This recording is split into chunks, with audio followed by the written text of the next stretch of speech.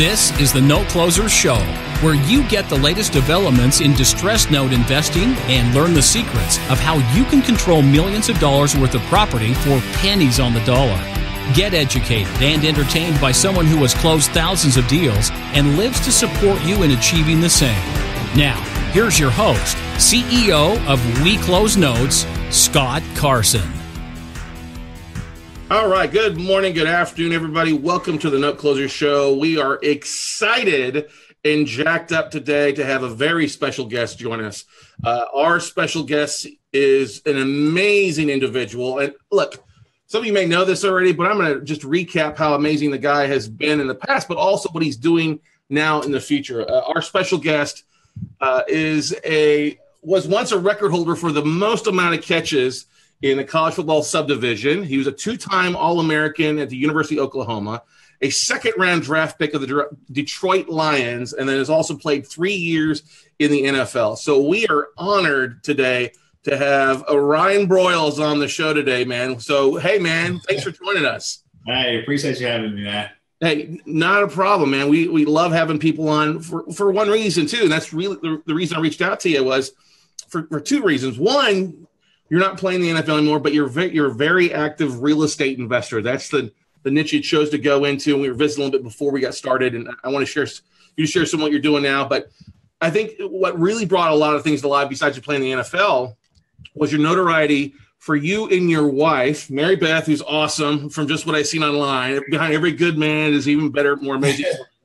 um, your guys' ability to kind of shed and, and, and stiff arm that the high high life of the NFL, you know, and stick to a budget to really set yourself up on in, in a great place after you finish uh, uh, your NFL career, right, Ryan? Exactly. That's that's always been the goal. You know, I've had great mentors, like you said, my wife as well. She's actually one that jump started these things well before I made it to the NFL. Um, but yeah, man, I just learned as much as I could, um, and obviously try to set my family up um, as well as myself when the game was over right? And you, you, I think you credit a lot of it from what I've, I've seen in the past a little bit to kind of changing your mentality when you were, uh, you know, new at the game, kind of new in college. Uh, you were a big fan of uh, Rich Dad Poor Dad. Is that correct? I really was, man. That was actually the first book that I picked up um, right before my rookie year um, in the NFL.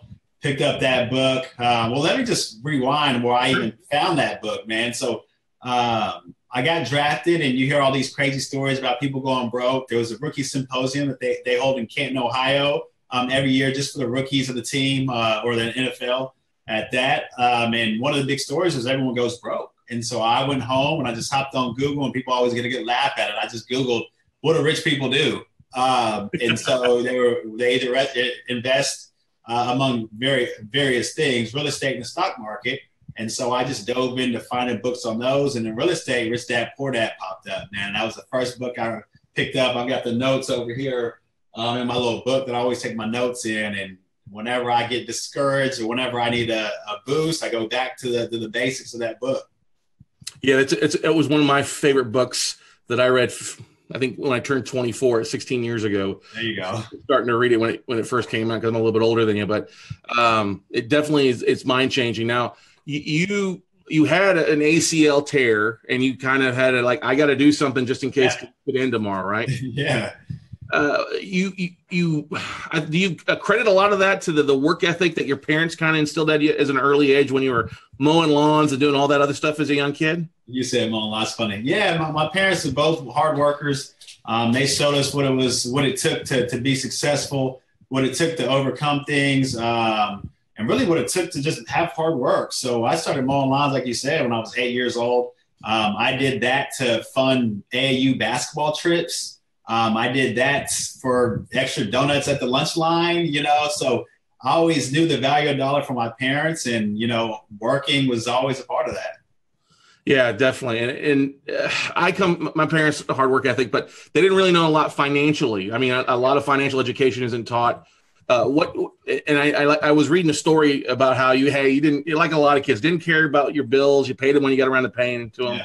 was that a really kind of difficult transition once you got to it or you just basically hey made it priority number one for you for the most part Or did you have Mary Beth well, like yeah, was, you ain't gonna go late on bills? You got to pay now. There was definitely pushback. So when I was a senior in college, me and my um, wife, my wife now, she's my girlfriend at the time, we moved in together, um, and obviously we were paying bills together. And she was like, "Hold on, Ryan, you're doing this wrong." So um, obviously my lights were turned off as a kid. I knew I didn't want those things, and my wife kind of kicked me in my butt at the time, saying, "Hey, you got to pay your cell phone bill on time. You got to pay your electric bill on time." And I was the kind of guy that was, "I'll pay it last minute." Like, ah, it's no big deal. Right. Um, so then obviously I got into the NFL and I pulled my um, credit report and I had cell phone bills that weren't paid. I had all these different things. I'm like, wow, this is really important. But like like a lot of people, we weren't taught those things growing up. Didn't know how important they were until it actually hits you in your mouth. Um, so it was a collective um, situation that actually jump started me. And once I learned what it takes to be successful financially, I just went all in. Yeah, I love it how that you basically set down the budget to to cover your bills, to pay you know twenty eight percent towards your mortgage, and you're paying. I think eight hundred. Some of the statistics, I'm sure some of those numbers have changed a little bit for yeah. you, but how you, you, you paid everything, you didn't eat out a lot, you didn't party a lot. I mean, I think a lot of that comes from having a, a, a great a person there with you, and Mary yeah. Beth being stable versus the this you know single single college yeah. single. people asking that question all the time. They're like, "Would you still live this lifestyle if you were single?" And I'm like you know, if you're single, you kind of have to be out and about and, and, and mixing and vibing with people, you know. But I found my wife when I was 16 years old, you know, so we developed a relationship. And obviously, it's good to have a good time, which don't get me wrong, we still right. do. Um, but I, it's not out there trying to show what we have so we can court a girl or what it might be. Yeah, exactly. now, have, have you had some of your buddies, either college or NFL or anything like that, come to you for advice, seeing where you've been? Yeah, man, believe it or not, you know, I feel like every off season since I've been done, someone contacts me um, here and there. Um, they call me about real estate deals. They call me about financial advisors, um, insurance deals, um, just to shoot the breeze, catch up, and then obviously try to figure out, um, I guess, their next step when they do get done playing. Right.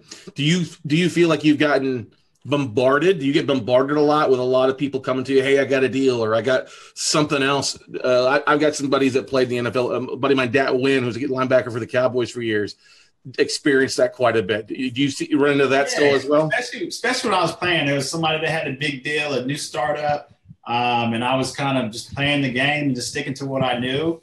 Um, and now at this point, I'm so heavy in real estate. I love new deals, so bring them all to me now. So and I'll dissect those and take the ones that are good and the ones that aren't. But obviously, um, when I was playing my playing days and I didn't have much uh, foundation of investments, people just ask me all kinds of things. Mm-hmm. And so you've made the switch you're into real estate aspects. So what's been what what are the what are the types of real estate deals that you like doing right now? Well, I started out single family homes. Um, I kicked myself in the butt now, four or five years later, that I bought all of my home, most of my homes at market value. Um, I started doing onesie twosies here and there. Then I, when I got into the league, I was like, listen, I can get a deal, 10 houses done the same way I can get one done. So then I went to portfolio loans. Um, and for the most part, I got a, a good deal there just because I bought them in bulk. Um, and over the last year, uh, we started going into distressed homes. Uh, so that's been my bread and butter up to this point. Uh, primarily in the Dallas market or Norman? Know I'm actually I'm in, I'm, I'm, in Oklahoma right now, Norman. Um, so we just finished three homes here this year, and we just finished one out in, in Texas. Um, so just searching the market, looking for our next one, man. That's awesome. And then you're, you're, you're fixing flipping these up, turning them into rentals, or just uh, you know buying them, keeping some. Initially, man, I was like, you know, when I started this flips 2017, I was like, I'm going to sell these things off. Um, then I just started started seeing my my uh, my profit on those deals. Uh, my spread was so much better. Um, essentially, got into every deal and got my money back when I refinanced them. So I was like, I can continue to buy these things well, fix them up better than the the rentals around the area, um, and still pull my money out of it. And that I was like, at that point, I was like, I'm not selling any of them. Yeah. But I do go in thinking I'm going to sell them, uh, just depending on how it works out numbers wise. If I hit my budget, if I'm over, and I need to liquidate, then obviously that's there as well. Is there a price point that you kind of like your bread and butter, like hundred thousand dollars or less, or two hundred or less, or one to two hundred? What's your yeah? Usually two hundred or less. Um, I think my it's more on the rental market that I look at. Uh, around a twelve hundred to sixteen hundred is probably the point that I like. Um, obviously, single family homes, and everyone talks about location and schools and things like that. But I usually try to stay around those numbers. That's a that's a great market point there for you. We got a question. What's the question, Nicole? Yeah, Jason Bible asked, "How hard was it to invest during the season?" Oh, that's a good question. So Jason Bible is a, a buddy of ours out of Houston, Texas. He buys about uh, he's actually bought about 400 homes over the last three years. Oh wow! Yeah, uh, and he asked, "How hard is it to, to pull away time from the uh, the schedule of a busy season to to invest?" Well, initially, I did not do any during the season. I always did the work on the off season. That's when I was studying, go to classes. Uh, so most of my work was done then.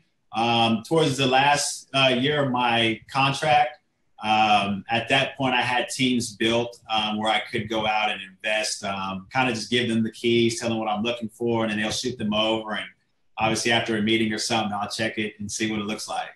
Right. So let's let's stress that because that's important. I think a lot of uh, real estate investors they go to a, uh, a seminar or two hour intro session and they get all excited yeah. you know they watch flip this house or fix and flop or amc tv and yeah. we all know that's not real life for the most part right it, it, really isn't you know obviously it feels good to watch it you see the turnover happen in the house so quick uh, but once you get down to, to those um, those deals where it could take a little two to a month longer than what you expected. Obviously, you're looking at your budget every day. They don't show it on those shows. You know what I mean? They don't show the contractors not showing up or things like that. You know, so those all feel good. But at the end of the day, I think they do a good job of inspiring people. Um, that's essentially why I got into the game. Obviously, there's times when I tell my wife, "It's like I'm not doing another one. I'm not doing another one," and then I end up doing another one. You know. that's that's I think that's the story of everybody. We hit the point like, oh, I, but once you scratch that itch, you got to go back and scratch that itch once yeah, you get keep for sure. Right. Um, I like to ask the question too: is that you what what you you, mentioned you went back to school after or in the off season. Did you finish up with your degree? Well, no, I don't. I don't mean school as in like formal school. Okay. Um, like some seminars, um, some business meeting classes. Not where you go in and do homework. Just go somewhere and get some education on, on self education. Okay. What it is, yeah. Um, and for the most part, I, there's websites that I go to. YouTube. It's been endless hours on YouTube. Books, um, and obviously uh, you start to connect with people that are like a guy that just asked a question 400 properties those are the people that you want to talk to um, you know it might not be in everyone's game plan to have 400 but if he has 400 homes worth of experience that's who you want to talk to yeah and he started off with with one deal and, yeah. and one deal and grew it um, but let's talk he's and jason's got a big team in houston we've had him on as a guest here before um, it's one of our top 10 episodes yeah. uh, as well. But let's talk about your team because you you you you have got your fix and flips. You've also got a restaurant that you're in the process of, of finishing up and, and getting things rock and rolling there at the uh, university. What is it? Uh, Oklahoma. Yeah, in Norman, but it's the the name of it is I got it right here. I wrote it down. The, the, the porch, right? Yeah. At the campus corner let's talk about how you kind of dove into that. Is it a, friendly situation, just a, a, situation you couldn't turn well, down? It's funny how it happens. So I've got uh, some commercial um, brokers that I usually touch base with on my bulk deals, and he was like, you know what, this is a deal that's probably something not in your wheelhouse, but I think it's worth looking at. Um, and so I hop online or I hop on the my email and it's a restaurant deal. And I'm like, ah, you know, I've heard all this crazy stuff about restaurants. And then um, I get the resume of the guy that's offering the deal. Um, I obviously saw the location, um, and then obviously I got the got the opportunity of talking to other big time real estate or not real estate restaurant entrepreneurs. Um, it kind of put me at ease, sent the business plan over to them as well. Um, and then I've obviously over the last six, seven months now, I've learned a lot. Um, so it kind of just fell in my lap and it was perfect timing, man. Nice, nice stuff there. So you are, uh, are you still running by your budget of the same amount? Or is it adjusted a little bit since, uh, well, yeah, it's definitely adjusted. Um, and obviously, at the time when I was a rookie, um, I didn't know how long I was going to play, so I, my back was against the wall there as well. Um, now that we're back home in Norman, Oklahoma, I've got a little boy that's two years old. Uh, so the budget definitely fluctuates, but over the last four years, I bought uh, a lot more cash flowing properties, so that definitely helps out. And then obviously, with the excess money that I have, I'm able to go back and invest. Cool. I have to ask a question, and this may be offset do you uh, do you do anything in like self-directed IRAs or educational savings accounts right now? With oh yeah, for sure. Yeah, and that's that's been a staple from the very beginning. I actually invested in the stock market uh, probably about six eight months before I did anything in real estate. Um, I have a financial advisor that taught me to do those deals. So me and my wife have an IRA, SEP IRAs, and obviously our 401ks. Um, so we continue to fund those deals. Um, so that's that's our long-term plays, and obviously trying to build some assets. So when we go to the bank and our network continues to grow, and you know we're kind of backed by actual tangible assets, it definitely helps us out. That's that's phenomenal. Any uh, you start with Rich Dad Poor Dad, and you're a very avid educator, videos, YouTube, going to different self-education seminars. What's a book that you're reading or listening to right now? You know what? To believe it or not, um, I told myself in 2017, less is more. Um, so I'm actually doing more personal development stuff. I'm reading a book right now that I can't really remember the name. Actually, it's, it's called Ageless Memory. It's sitting right here. Um, and it's just talking about our, our brains and how to memorize things. So that's where I am right now. Um, I've got a good knack at um, understanding properties. So when I see them, I don't feel like I'm at, at base zero anymore. Um, so I wouldn't say I, I, really dive in on those deals like I'm a newbie. Uh, but yeah, it's more personal development right now, man. That's good. I think that's a, that's a, a really good, smart thing to have because I think we got a, the best asset we have is ourselves in that hurdle between those two. Now, gotta work it. Gotta work it. um, with you guys doing the real estate, how do you and your wife kind of balance a lot of that, that relationship? You're both very gung ho about the real estate side. She managed specific aspects aspects of it that you don't touch. You work to your strengths. How's that kind of balance out for you? Uh, we we definitely we definitely bounce things off of each other. Uh, my wife can really she has better instincts than I do. So if we drive by a property and she's like, you know what, I don't really feel that, and I look at the numbers and I like it, I usually go with what she says um, at the end of the day. And so where she's really stepped up, um, that's been very vital is on our on our rehabs. She's got the she's got the eye to to know what needs to go here and the material to pick out. So over this past year, she's definitely helped out there. I'm not a guy that wants to dissect five different looks, um, you know. So my wife's the one that hey, this is the look, let's go with it. I'm like, all right, it's all yours, you know. And I just kind of the, the contractors at that point. Give me the numbers. You can handle the inside. Just give me the numbers, right? That's a heck of a job for sure. That's awesome. That's that's a good thing. And going back, you got a young one right now, stuff yeah, like yeah, that. Just woke up too. Just woke up. That's fine. Hey, we, we got kids that run wild. We had dogs, animals that run wild in different interviews and stuff like that. What is what are some of the things that you're going to instill in, in him at, at, a, at a age that maybe you didn't learn early? Have you guys given any thought to that? Discuss that. Well, you know what? We, I guess, on the finance side, my, my parents, they were never too open about bills and credit scores and things like that and, and how much they made. Um, all we just saw is them work. So I think when Sebastian gets to his age, you know, I'm going to say, hey, this is why daddy's sitting on his computer doing this. This is this is what we're trying to build. This is what we're trying to do.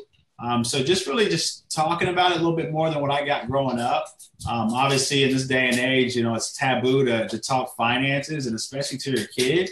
Um, but I think that's something that I'm going to be able to instill in my little guy uh, from the very beginning. And this is there. He say hi. He say he say hi. Hi, Sebastian. there you go. There you go. Can you do this? Hook 'em horns. no, we don't. He said, he said, Oh, getting all shy. nothing wrong with that. Nothing wrong with that. So you guys also uh, have a passion for traveling in, with what you do, right? You guys travel the world and stuff like that. Yeah, that's that's been um, the very the very the very biggest thing that we've ever done. Um, I can't say the biggest thing, but the most beneficial. Um, we definitely want to be cultured. Growing up here in Oklahoma, um, it's where it's a tight knit place, and not a lot of people leave here, um, especially Norman. Um, so when we got the opportunity to leave, we definitely do that. So when I signed my contract um, back in 2012, we were like, listen, we're going to go see the world. So um, a month after I got drafted, we went to China, um, went to, to Hong Kong, and just about every year, and more frequently now that I'm not playing, we definitely try to go see places to be cultured. Um, and actually, it's funny you say that because we're we're about to learn Spanish, and we're going to move over to to Spain for about six months um, at the beginning of the year. So it's just about being in different places and stretching our minds. Because um, obviously, there's a lot more to life than just living in your in your shelter, you know. Yeah, and the fact that you have a good team surrounding you allows you to be able to still live a life. Versus, yeah, yeah. and that's that's been most beneficial, man. Just financial freedom um, was always our goal. Um, we actually just started a property management company, and we're in the point of we're vetting out people to, to run those deals while we're gone as well. Um, so we're, we're just trying to build these assets so we can go out and continue to, to live the life that we want to live. And, and not only that, share it with people, you know? Let's talk a little about that. What's your what's your future plans? Because I know you have a, a, passion for sharing that. Have you uh, gone back and, and, spoken with new new guys in the NFL or at the at uh, OU as well, trying to help guide uh, give guidance to those guys? Yeah. Well, I I'm probably making a speech twice a month nowadays, um, whether it's uh, real estate or just um, personal development.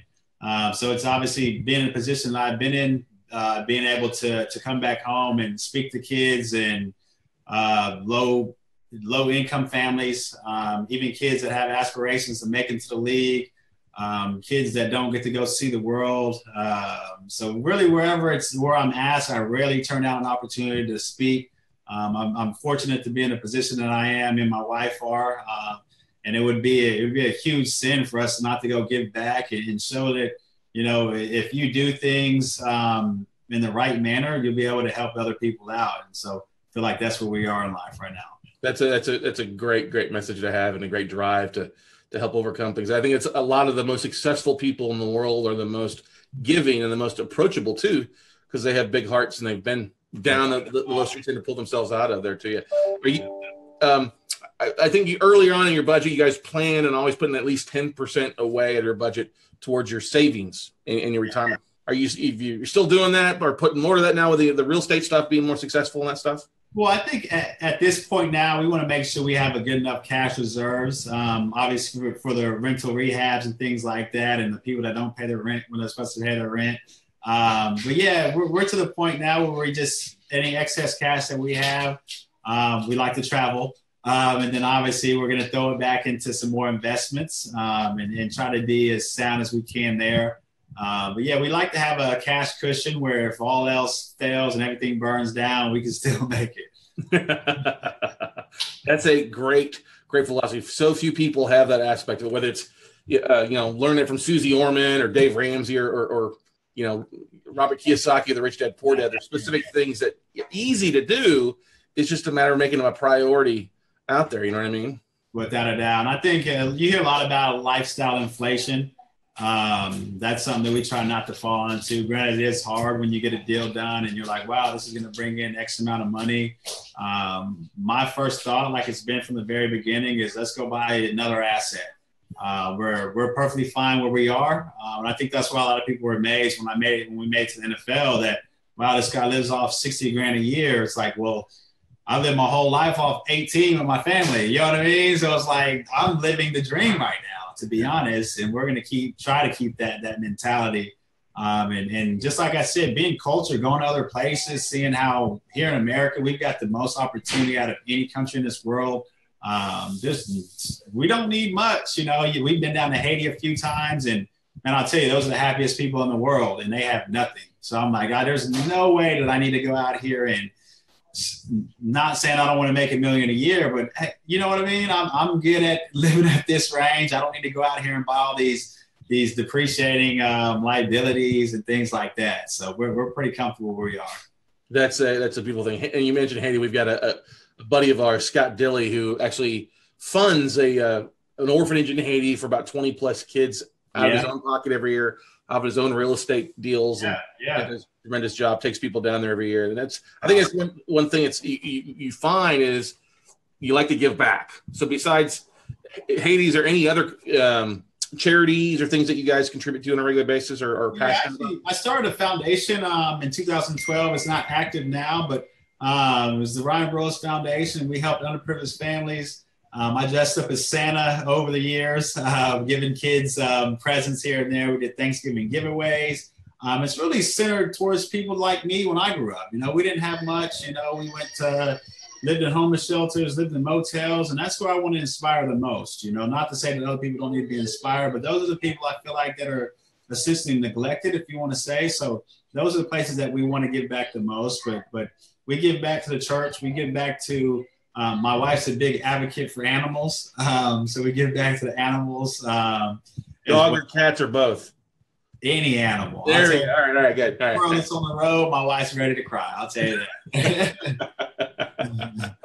uh, we've got somebody that's very yeah. Now I'll tell you what's funny. So I'm on Facebook and I find my Rich Dad Poor Dad. Um, I've got all these various um, financial deals and the news, and I look at my wife's timeline and it's animal this, animal that. You know, it's it's kind of funny. hey, nothing wrong. She's the yin to your yang, brother, right? now, have you? Uh, and I don't know this, and if if it's not, just tell me. Is there uh, other people that you've networked with, the ex players like Ward Dunn or anybody like that, who's doing, you know, fixing flips and rehabs and things like that, and networked with them, or um, no, I haven't. Not any. Not any ex athletes. Just really just local business partners that I've have. Um, just connecting with people around the United States that do that. Um, I'm on BiggerPockets often, so I get to associate with people on there. Uh, but not not anybody of an NFL stature. Now, granted, if they come along, I'd be happy to do that and, and shoot the breeze with them. Um, but not at this point. Yeah, or anything. I know that. Uh, couple Cowboys. You know, Emmitt Smith and uh, Roger Staubach are big in the yeah. real estate community there in you Dallas. Know, funny, Roger Staubach. they actually connected with me a couple years ago, and I know they have some big platform that they have going where they offer a certain percentage, and I'm too hands on for that, man. Uh, so I, I, still actually have it on, on one of my folders here, and I always look back to how they present those deals, and I kind of mimic some of the deals when I when I send it out to potential investors. I kind of do the same thing.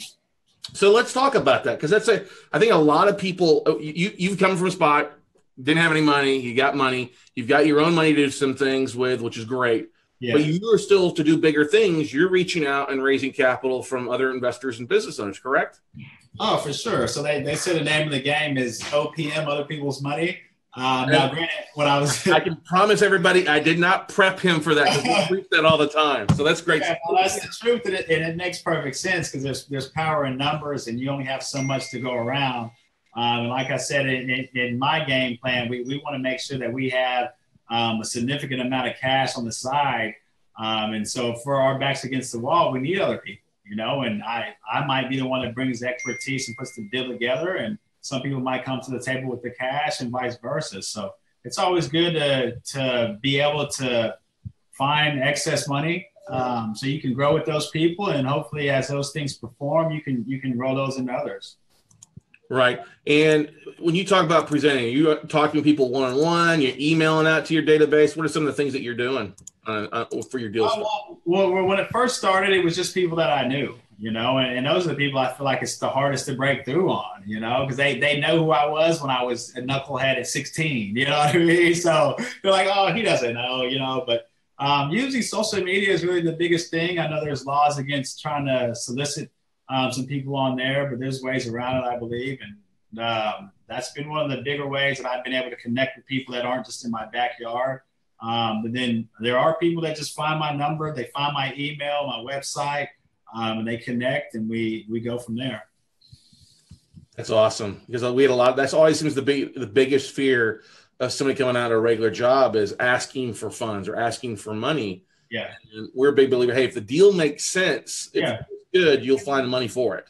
Well, I'll tell you, I felt the same way because I didn't want to be a guy like with my hand out, but people people want to be successful people want to to get in the game. And if you ask anybody what they want to invest in it's going to be one or two things. It's going to be they want to they want to fund their retirement whether it's the stock market um, or they want to buy real estate you know? So if you if you bring a game plan together um, and you just tell the story instead of actually the dollars then i think that's where it really starts to pay off and leveraging that the fact that you've got a team behind you as well versus that you're not going to be the guy doing everything too right? Yeah and granted when you start out you might not have that team but i'm definitely to the point where um, me and my wife can go on vacation and things are still going to float. Uh, if something does happen to come up uh, we've got that taken care of and there's people that i'm actually trying to find somebody now that can take over some of my emails uh, where they can actually vet the property before I have to look at it. You know, so I want to get to that point where I can do less is more.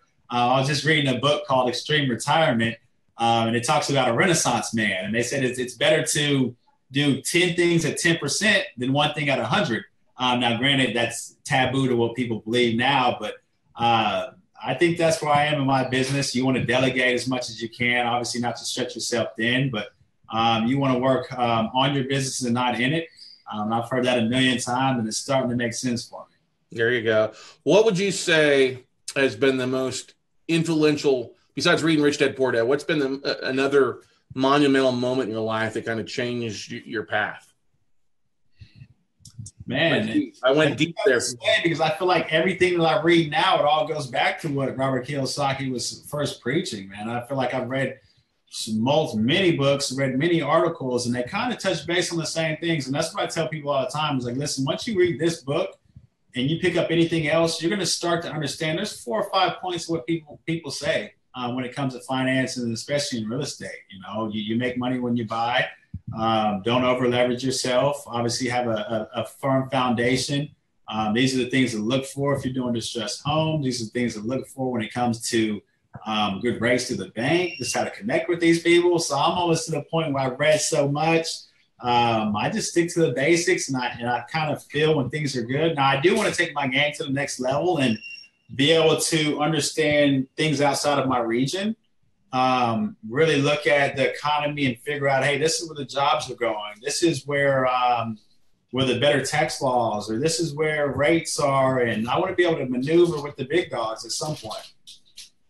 That's great because I was going to ask you if you have any, if you and Mary Beth have set one year, you know, five year, twelve year, ten year goals or anything like that as well, or no? Oh well, first when I came out, I was like, listen, when I'm done playing this game, I want to have financial freedom. Um, and so before I retired, um, we matched that goal. Um, and so at the end of the day, you know, obviously I want to have a good, strong marriage. Um, I want my son to be well taken care of. Um, and I want to just keep a level head and, and, help people out, you know, at the end of the day. And then, like you said earlier, travel the world, man. That's been our biggest goal.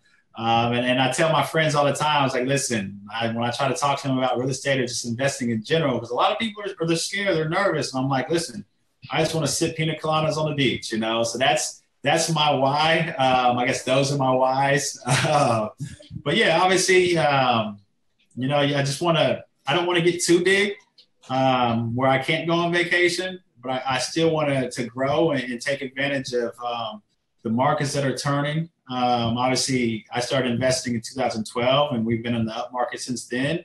Um, I've talked to some some of my mentors where they talked about in the late 80s where rates were crazy and the world seemed like it was falling apart then. I haven't been I haven't been there yet. So um, there's going to be some point where I've got to learn those deals. Obviously, it's not going to go up forever.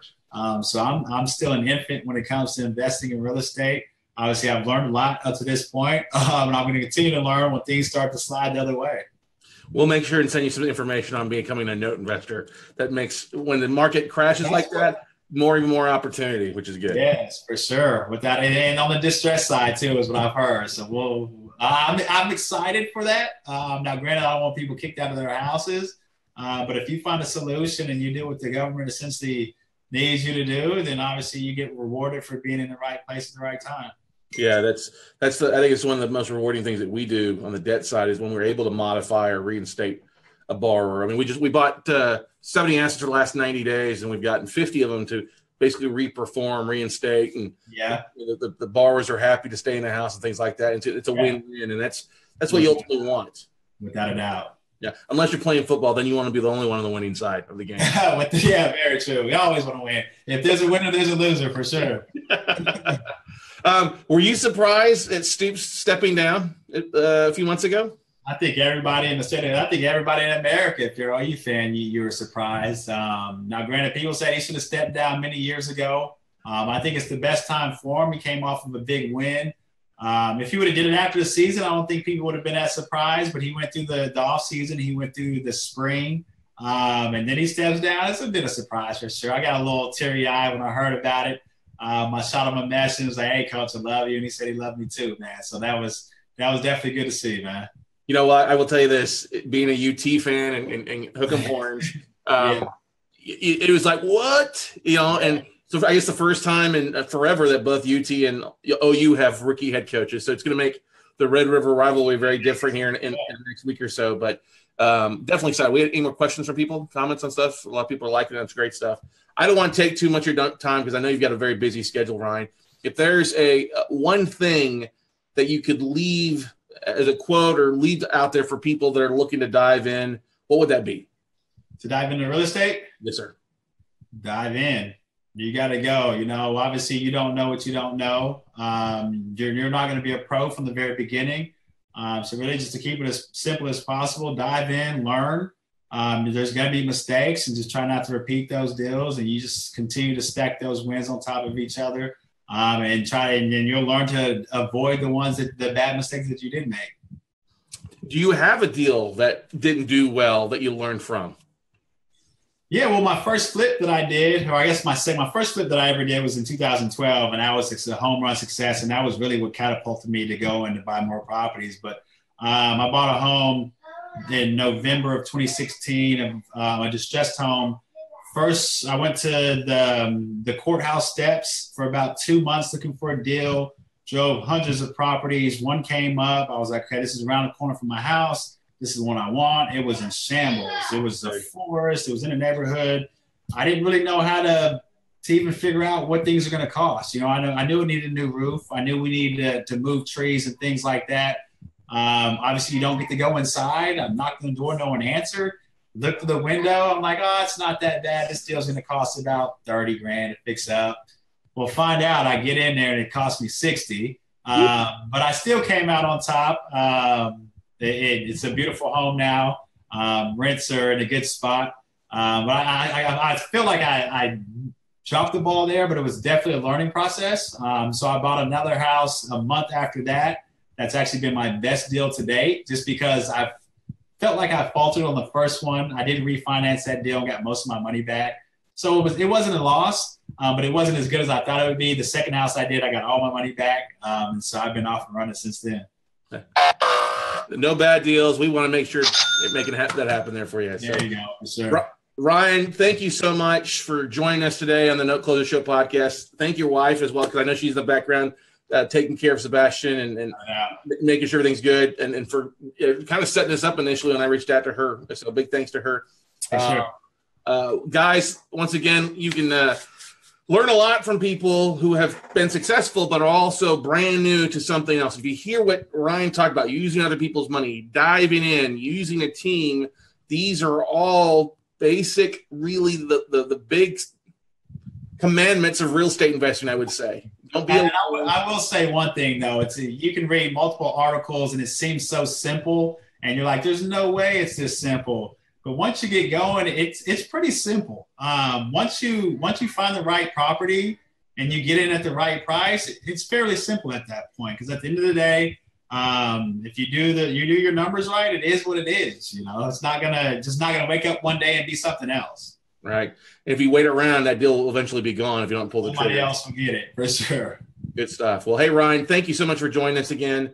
You guys have a great day uh, and stay out of trouble. All right, keep knocking it out, and we'll be in touch with some other great info for you. All right, we'll do, man. Hey, a boomer sooner. Boomer sooner. Looking forward, man.